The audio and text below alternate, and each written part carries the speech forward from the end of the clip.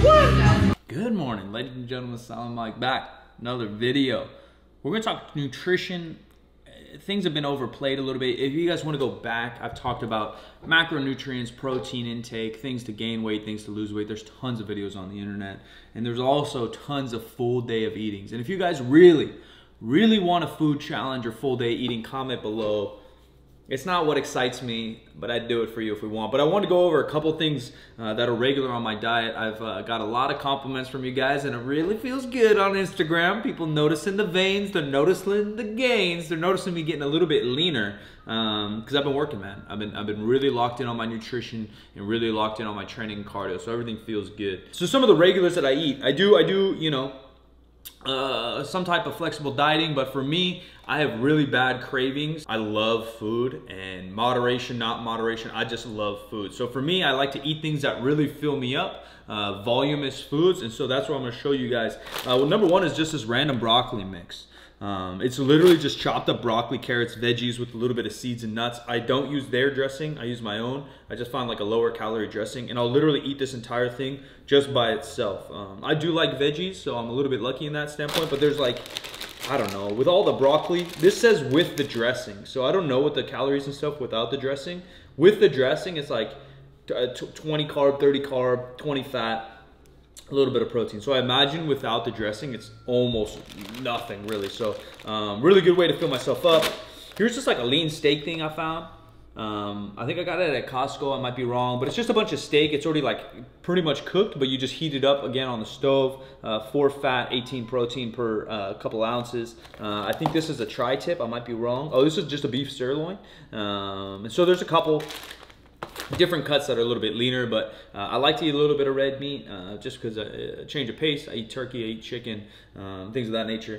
This is something I'm new on. I'm not a huge dairy guy. I mean, I love ice cream, but I'm not a huge yogurt guy. Um, this thing's actually not that delicious, to be honest, because it's totally zero fat, zero sugar added. Um, one serving of this thing's 23 grams of protein and seven carb. That's why I throw some berries in, or I'll even throw some uh, cereal just to give it some flavor. Uh, but really easy protein source, um, and it also fills me up. Again, you can eat a lot of this.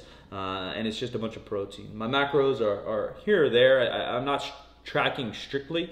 Um, I know when I'm kind of in the pocket and I go day by day by feel on how hard my training is, just because I've tracked my food for years and years and years. So if you're new, I do suggest you track your food, you weigh, measure all that. For me, my food choices allow me um, to be a little bit more lenient because I'm eating these types of foods. And then when I go out with the boys uh, or traveling, then I'm just a little bit more precautious or I actually, um, I, I, I tend to track more when I travel.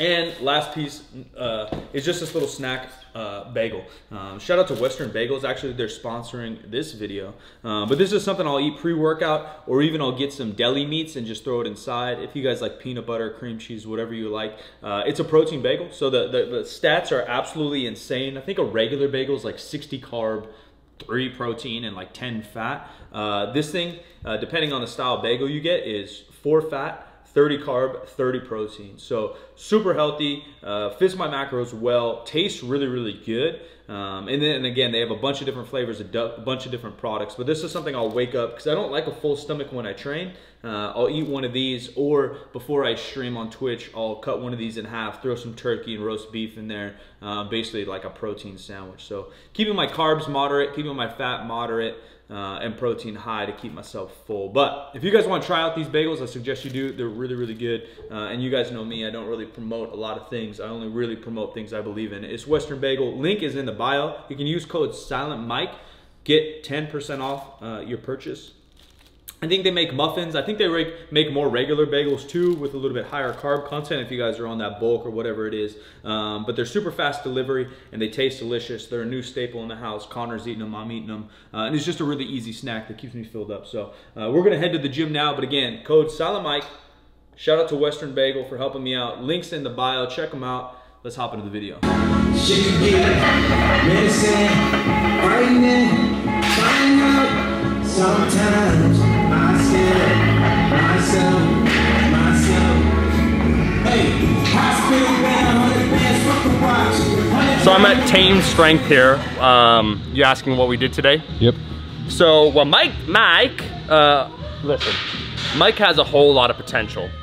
Uh, he worked up to squats. He did a single on it. I think he did 475. Uh, looked way better than his 455. I think if Mike uh, takes his time within a few weeks, he'll be back up at 500. I worked on deadlifts. I did triples. Unfortunately, I uh, used the smooth bar recently, so I used that knurling and it taught me who's boss. So I did three sets, worked up to five plates um, on that for triples. Then with Alan, I did pin squats. I did a five by five of that, loaded up. So the third set was the heaviest set, then back down. Then we did bench press. Everyone else did something sensible, which was like a five by five, like top single, then five by five. I did a little known uh, ancient Chinese secret, which was I did five, five, then I went up to three, 15, did four, back down by 15.2% to 265. Did that for eight, eight, eight, eight, three sets of eight, and that's how you get to, you know, a big bench press. And that's it. We did a, we did a radical workout today. Probably nothing you've seen ever before on YouTube. Uh, we did the deadlift, squat, and then the bench press. So try that out if you want to get stronger. So after seeing Mike squat today, what uh What's my critique? yeah, well what's your critique for um The 405 squat challenge? yeah. Okay. You want me to write this for you? Uh, no, so I, uh, I think, I think it's clear. Okay, Mike has the most potential out of the three of us, like clearly. Um, he's a little detrained because he's been focused on other things. If he brings his A game on Monday, he will absolutely outlift the other two. Um, but here's the thing.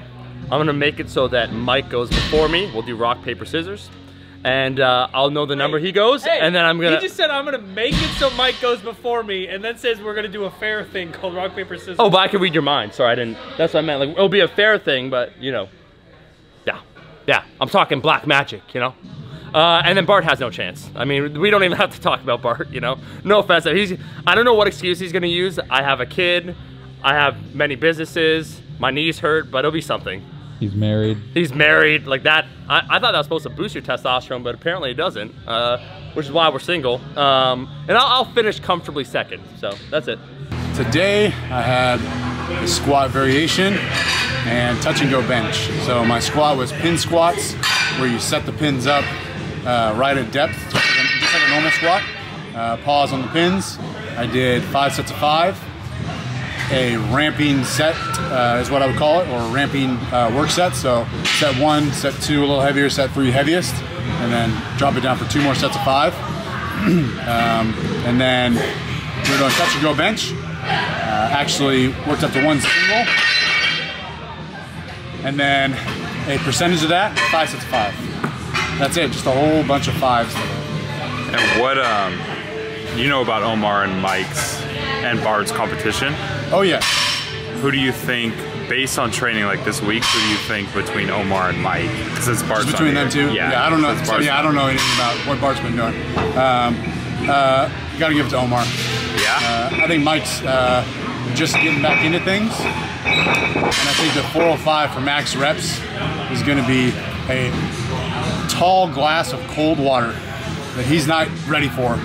Uh, so I think Omar is going to dig down deep, uh, tap into that long hair strength, and uh, pull out with the W. Close it out. Hi, I'm Mike. Welcome to my channel. This is the end of this video, but because it's a channel, we'll be back in a couple days. Subscribe, thumbs up. I hope you like my friends. I hope you like my squats. More squats coming soon.